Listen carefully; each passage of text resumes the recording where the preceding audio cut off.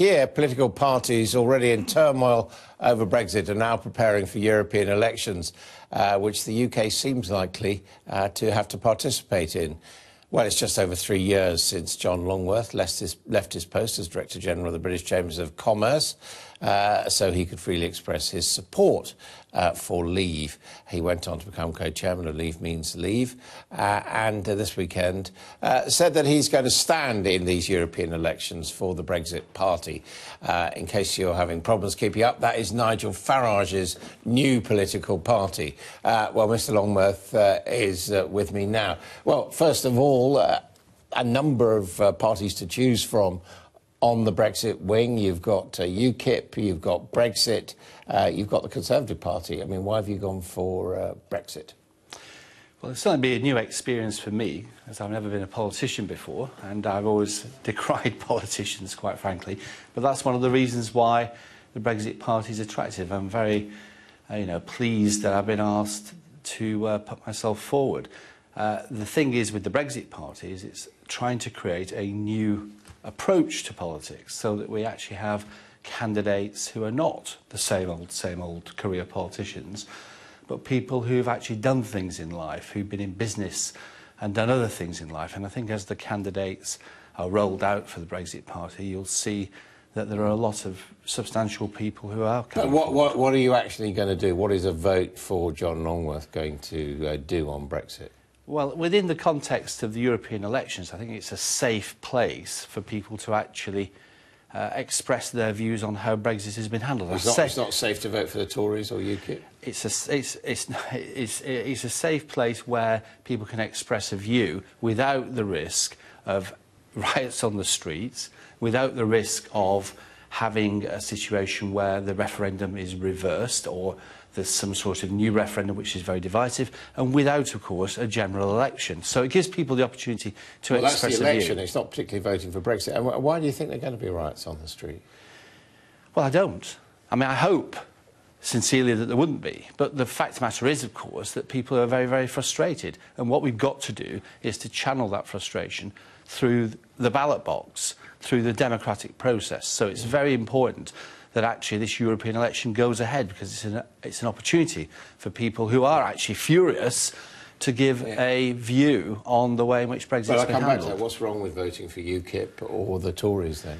Well, what's wrong with voting for either of the major parties, of course, is they've made a complete hash of it, and that the majority of their MPs in Parliament are Remainers who've done everything possible to frustrate and undermine the Brexit process. When it comes to UKIP, uh, UKIP and the Brexit Party are like chalk and cheese in terms of the people who are involved. And, you know, parties are more than the sum of their parts, but the parts are very important. But, I mean, this is a step for you because uh, at the time of the referendum, you were associated with the official campaign uh, for leaving the European Union. You've now switched to the provisional campaign, the, the, the, the Nigel uh, Farage, uh, Arron Banks side of the argument. So you've become more radical, have you? Well, first of all, let's be very clear. Arron Banks has nothing to do with this whatsoever. The second thing to say is that when the referendum was won by the people who voted to leave by 1.4 million people in the biggest plebiscite. Two-thirds of constituencies in the UK, three-quarters in England and Wales voted to leave. Would have been a landslide in an election, of course. Uh, I still didn't believe that the establishment would allow us to do it, which is why I decided to get involved with Leave Means Leave and ended up as chairman of Leave Means Leave until, uh, well, still am chairman of the Leave Means Leave, of course, right up until the March to Leave, which arrived in uh, Parliament Square only a couple of weeks ago. The fact of the matter is that that yeah. move, actually, towards Leave Means Leave was essentially me saying that we need to actually move this thing forward and that the major parties can't be trusted. Now, uh, what are the practicalities of all this? I mean, uh, uh, it's come on us uh, as a bit of a surprise these European elections. I mean, how's it going to work? When, when have you? When do we know if you're a candidate? What, what area you're going to be standing in, uh, and all the rest of that? Well, you know now I'm going to be a candidate because we've declared it. So you've been accepted. Yeah. I've been accepted. Yes, um, I'm proposing to stand for for Yorkshire because that's where I live. That's my uh, home, uh, Uh, and it seems sensible to me to actually represent the people amongst whom I live.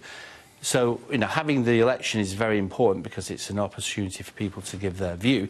But it's also very important, actually, if the UK is going to be in the EU for any length of time now, that we actually yeah. have people in Brussels who will represent the interests of the UK. Is it the truth that the whole sort of air is going out of the balloon of, of leaving the European Union? We've had three delays now, I think, in the date we were going to leave. Uh, we've got these splits of parties. Uh, uh, on the right, um, and we've got opinion polls showing that people aren't too keen on it either. Well, I think there's a real risk that uh, Brexit will not happen. If it doesn't happen, of course, I, you know, you can't, you can't imagine what, what the reaction will be from 17.5 million plus people. Sigh of relief, perhaps. Well, there'll be, there'll, there'll, be a lot of people, of course. I mean, one of the things that the establishment are doing is actually wearing people down. And people are fed up to the back teeth of this whole thing. But the fact of the matter is, Britain voted to leave the European Union by a significant but number. Vote again. I mean, just suppose that uh, non-Brexit parties get more votes than Brexit parties in this election. Would you accept that as a verdict to the people? Well, it's not a verdict to the people on the... the only verdict of the referendum is a referendum. So, so have another referendum. What's wrong with and that? It, and if we have another referendum, of course, it would be a really big undermining of democracy in the UK. Because... Why? Well, I'll tell you why. Because the way the UK democratic system works is that you have an election, say, and then the government govern, and if you don't like them, you throw them out at the next election. To have an election, a referendum, in which the result of the referendum has not been implemented, and then have another referendum would be like saying after an election, I don't like the party that's been elected, we'll have another one next week. OK. John Longworth, thank you uh, very much indeed. Well, let's put that to someone who takes a rather different view. Uh, joining us now is uh, uh Gina Miller. Uh, she was the founder of Lead, not Leave, uh, and brought the case against the government that led to this process of a meaningful vote. Uh, thank you very much indeed for being with us, uh, uh, Gina Miller. Um, you're going to be standing in these European Parliament elections. A lot of people would like to see you as a candidate.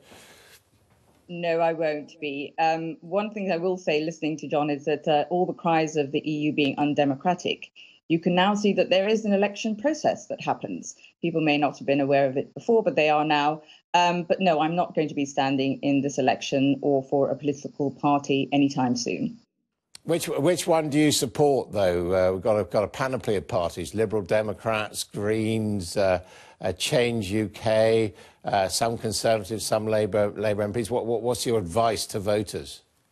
I'd say that these elections are actually different from a general election because individuals you choose um, in, in a proportional representative system, so the voting system itself is different, will actually be representing us in the European um, institutions and parliament. So I think it's important that they have um, an understanding of that. So I would say the candidates of those I've seen so far, um, and I'm aware of that applied to Change UK, I think would be the ones that I would back at this moment in time because they do have more of a progressive agenda. And I do think there needs to be change and progression in the EU.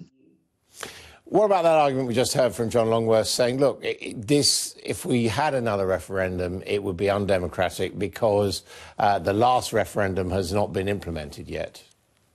Yes, John. John repeats a lot of things that a lot of um, the Leave politicians, who I think are very being very irresponsible in the messages they're still giving now, three years later.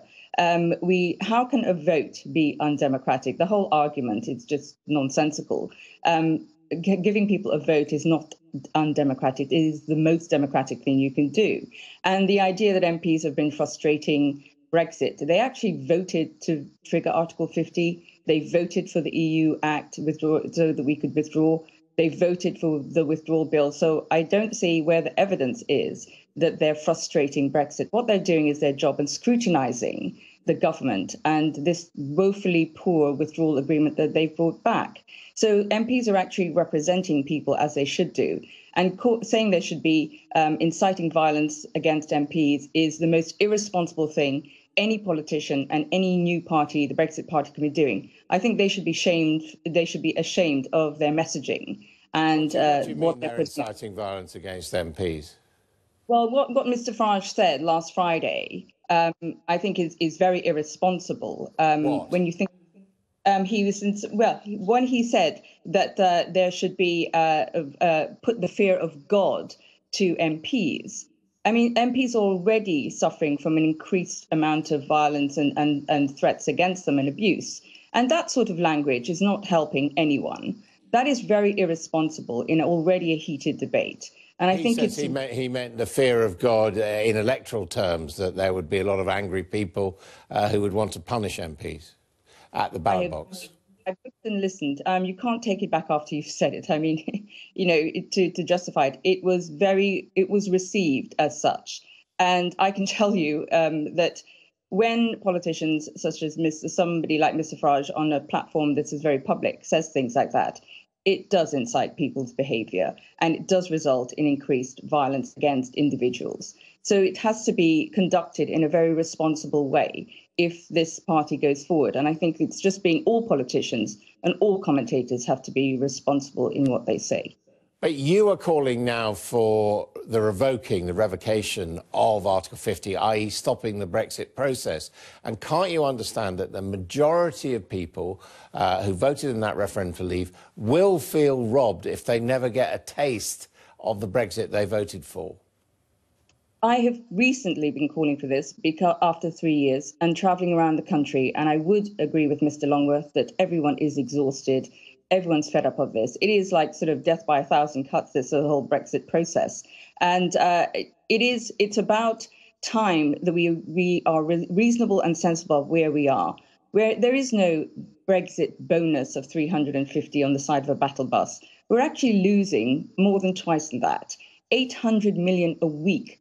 In the total cost of Brexit to date from the Bank of England is somewhere around 40 billion a year we could build 22 state of the art hospitals with that money and all the things that we should be talking about that led to people voting. I've been up and down the country on a regular basis, uh, week after week, and people are crying out for change in their communities, in housing, in education. We saw just yesterday that 40% of teachers say they wouldn't stay in the profession. We have crisis after crisis being ignored and being pushed out of the agenda and off the headlines because of Brexit it's enough time now. We need to start looking after our country. And that's why I think that revoking as a conversation now is something that more and more people are telling me, not just I'm suggesting to them, but they're saying enough is enough after three years. Finally, uh, will we be seeing you campaigning for Change UK? Uh, no, I'm not politically at the moment. Um, I'm pushing for the Brexit process. I think it's really important. Um, I haven't spoken to them. They haven't spoken to me. Uh, if I was approached, I'd have a conversation with them. But I think it's very important that people are aware that this is an opportunity for them to really express their views and to get involved. You know, we must always ensure that we vote. We mustn't take it for granted. Millions of people around the world don't have the opportunity to vote. We mustn't just neglect that responsibility. Okay, thank you very much indeed, Gina Miller there joining us.